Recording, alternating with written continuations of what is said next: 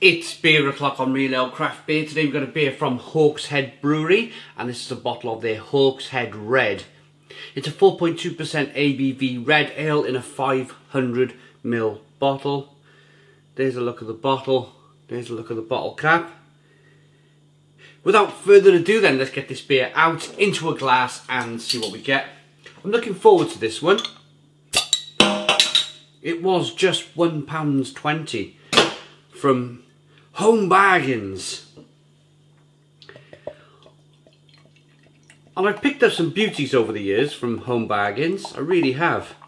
I always dip my head in there. Generally buying crisps. but I pop down the beer aisle, have a look, and when they got something new, something interesting, I'll pick it up. So yeah, we, we had a look last week. We picked this one up and bang, here we are reviewing it. Hawkshead Brewery, I mean, back 2012, 2013, they were producing wonderful beer. Absolutely, well, uh, they probably still are, but what I'm trying to say is, is that they were one of those young, trendy brewers where they were producing like, like off-the-cuff IPAs and hoppy stuff, and all in bottle though. And then they kind of, for whatever reason, they kind of fell off the radar, especially for us down in South Wales. Um, never really get the availability that we really should have from Hawkshead Brewery. But whenever I do see their beer, like seeing it in home bargains, I was like, boom, oh yeah, I'm definitely going to get that because they produce some terrific stuff. We've got a one finger white head here, a hazy amber red coloured ale, slow moving carbonation, bottle conditioned, maybe, well we'll get some more of the beer in a moment, but uh, let's have a sip first, so I'll get the aroma should I say first, and then we'll be to get the rest of the bottle in to see if it's a bottle conditioned beer. Hawkshead, uh, I, I don't think a lot of their beers are bottle conditioned to be honest.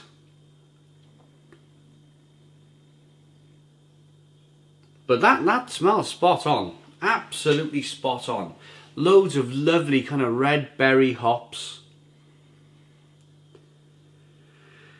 A nice biscuity, bready, malty, nutty aroma to the beer.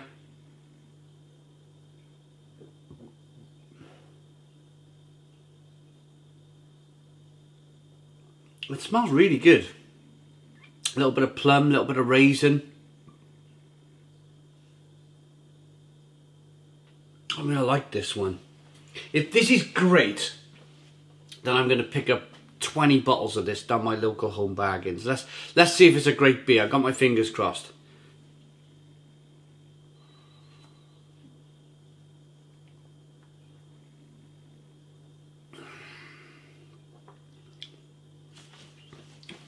Oh my goodness me, wow. Stone the Crows. Stone the Crows, what a beer. What a fantastic beer. Oh, finely balanced between the nuttiness, the biscuitiness, the breadiness, and then it's lovely and hoppy on the back end. Look at the lacing on the glass. Look at that. There was never any doubt, really, as to as to Hawkshead Brewery, you know, not producing great beer. This is fabulous. I just wonder why the price. I just wonder why it's £1.20 in home bargains.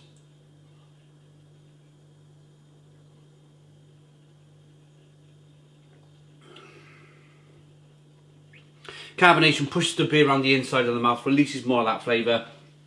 I'm picking up the toffee that you would get off toffee apple, or the same sort of toffee that you get with that you get the little toffee hammers years ago and you with the toffee band you, it's that kind of sweet but caramelized toffee. Let's indeed see if it's a, a bottle conditioned beer then. What a fabulous fabulous beer. No I don't think it is.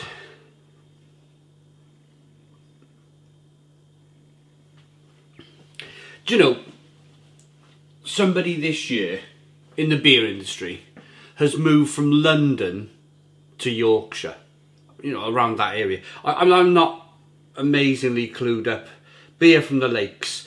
So it's kind of like north of north of England.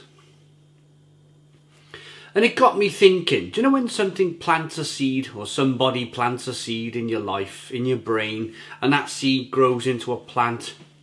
Now, as a beer lover, living in Wales, I love my country, absolutely love my country. But when somebody makes that jump from London to Yorkshire, and then he starts to speak about on Instagram the reasons why he did it, and then for the following few weeks he talks about all the great beers that he's trying up in Yorkshire. Because for me, I, I, I firmly believe Yorkshire is still the number one part of the U the beer scene in the UK. It's number one for the beer scene in the UK. There's some wonderful brewers. And importantly, some wonderful competition up there in Yorkshire.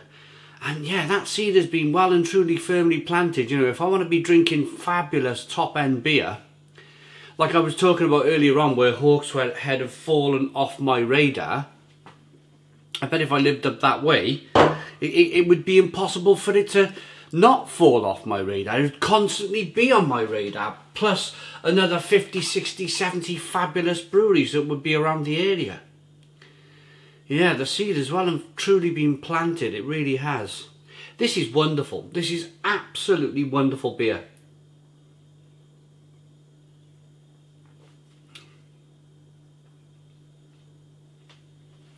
Malty, bready, biscuity, nutty, hoppy.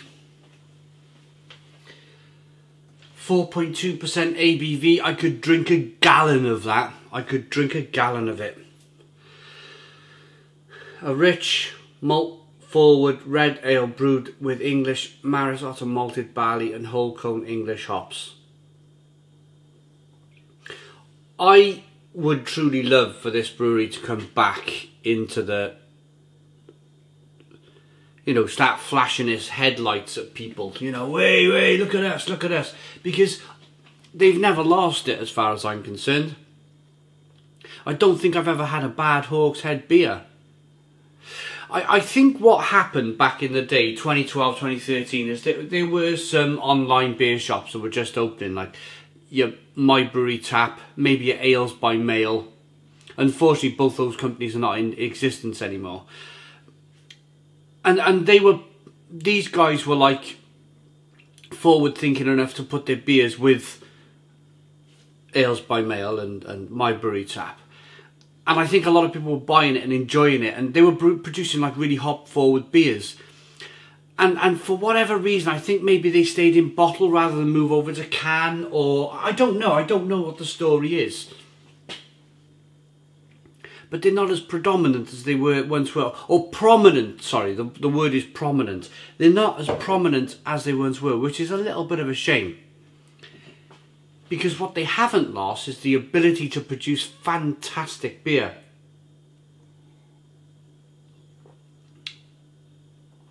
They just need to get it out there a little bit more.